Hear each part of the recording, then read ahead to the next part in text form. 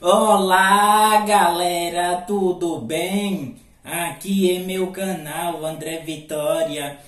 Galera, se inscreva, deixa o like e ativa o sininho para receber as notificações. Tenho notícia do Vitória e notícias importantes.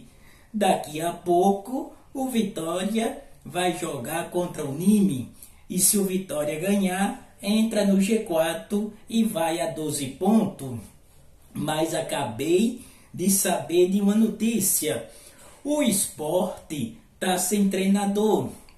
E o esporte está no mercado atrás de um treinador.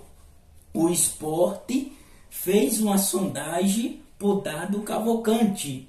O esporte quer contratar Dado Cavalcante.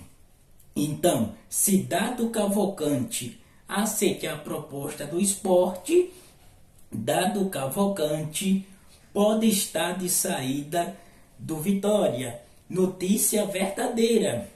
Notícia que acabou de sair. O esporte fez uma proposta por Dado Cavalcante.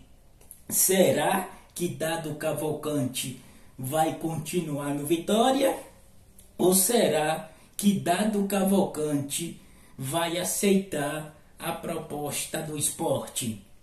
E vocês, preferem que Dado Cavalcante aceite a proposta do esporte? Ou vocês preferem que Dado Cavalcante continue no Vitória? Após Dado Cavalcante pode estar tá indo para o esporte. Dado Cavalcante, que até agora no Vitória só ganhou duas partidas, que foi o jogo contra o Vitória da Conquista e o jogo contra o Barcelona é, de Ilhéus. Dado Cavalcante, até agora, não conseguiu fazer o Vitória jogar bem. Durante essa temporada, o Vitória teve algum lampejo, alguns tempos bons, mas jogar bem, o Vitória não conseguiu jogar nessa temporada. E o Vitória, no Campeonato Baiano, em sete partidas, só marcou três gols. Então, Dado Cavalcante não está dando muito certo no Vitória. Eu torço que Dado Cavalcante vá para o esporte e o Vitória consiga trazer um treinador melhor, um treinador que dê certo. Galera, se inscreva, deixa o like. Fui!